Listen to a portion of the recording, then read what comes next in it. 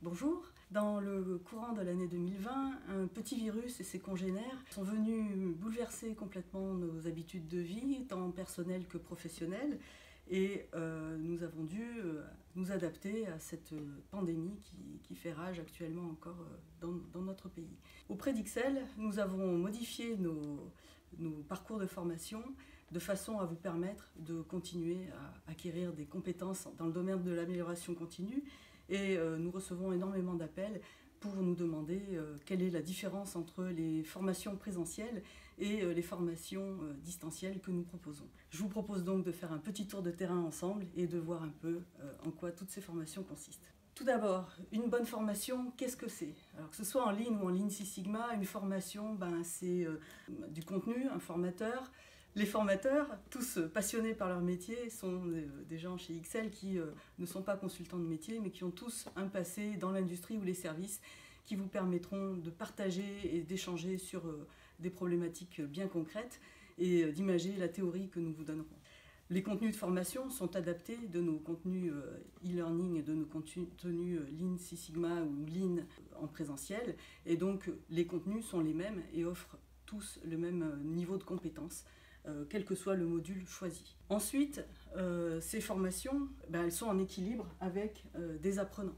Les apprenants, ben, c'est vous, avec votre motivation, avec votre envie d'apprendre, avec votre envie de partage et de rencontrer les autres, qui allez faire un peu l'animation, la qualité de, de, la formation que vous allez suivre. C'est par vos échanges, c'est par vos questions, par votre participation que nous arriverons ensemble à faire un bon contenu de formation.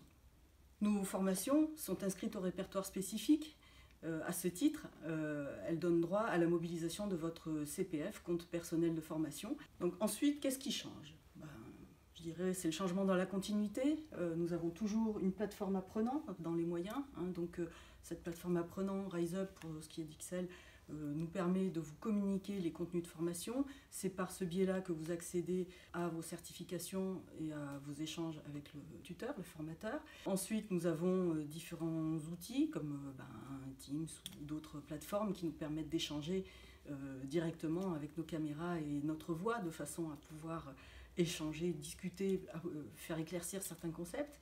Et puis euh, nous avons euh, transformé nos séances post-it, puisque nos formations sont à base de, post-it que l'on place sur des tableaux euh, pour faire des cartographies ou des, outils de ce type-là. Et eh bien nous avons remplacé les post-it par une plateforme, par notre partenaire IOBEA, qui nous permet de faire ces séances post-it et de faire déplacer un petit peu toutes ces étiquettes que l'on a d'habitude sur, sur nos murs. Nous vous recommandons quand même, même si maintenant il n'y a plus de problème avec les transports, c'est euh, d'arriver suffisamment tôt dans la salle, 10 minutes, un quart d'heure avant, vous assurer que vous avez une bonne connexion, préférez la connexion filaire à la connexion euh, Wi-Fi qui n'est pas toujours très stable. Assurez-vous que vous avez un environnement qui soit relativement calme de façon euh, à pouvoir échanger correctement. Et puis ben, pour le reste, je dirais que il n'y a plus qu'à amener votre bonne humeur et n'oubliez pas de contacter nos commerciaux au numéro qui va s'afficher pour en savoir plus sur nos contenus de formation et détecter laquelle serait la plus appropriée à vos besoins. À bientôt